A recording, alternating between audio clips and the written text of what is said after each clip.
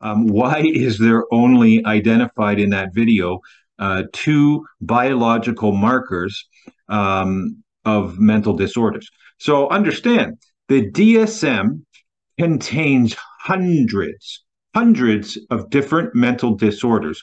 But, and what, what the uh, professor was saying was he says that yes, the DSM 5 we want to prove that what we are saying can be measured is legitimate by having biological markers. What does that mean? Well, it means that, um, let's say a person is identifying they've got these symptoms and the uh, psychiatrist or psychologist believes that it could be this then let's do some type of test. And and biological markers generally are either biological biochemical which means we're doing blood tests we're doing u- urine tests uh, radiological we're doing sort of an x-ray and then we're going to see the results and that's going to be able to verify the diagnosis uh, that this mental health professional, whether if they're a doctor in mental health or whether they're, they're a psychiatrist or whether they're a physician, that's how it works.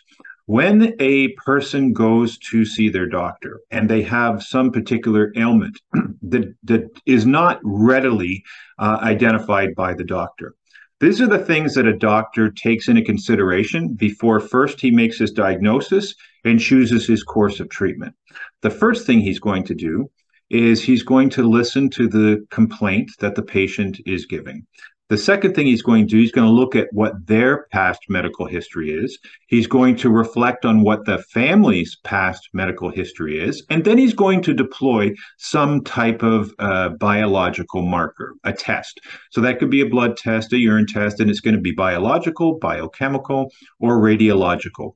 And when he he may think with a great uh, a high degree of certainty that he knows what the problem is, but he needs to take all of those things in consideration. And then when the tests are finally back and says, "Yep, that's exactly what I thought about," and that verifies um, what I believe the diagnosis should be, then and only then will a physician give a medical diagnosis and then determine what the best treatment for that would be.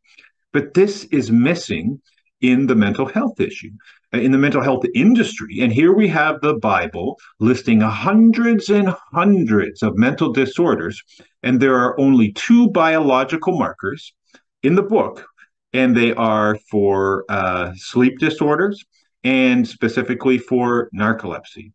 Um, that's a problem. I mean, that is that is a real sort of problem. Like, how can we? How is that science? So.